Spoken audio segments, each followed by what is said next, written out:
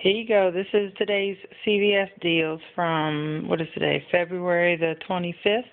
Um, I spent a total of $15 on all of this. I got six those were the Keebler's cookies. They were a dollar seven each.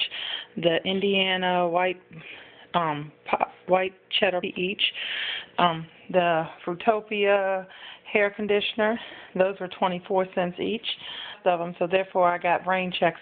The um Colgate Toothday and got those for 50 cents each. And of course, go wrong with one, two, three, nine, ten boxes of Sensodyne for free.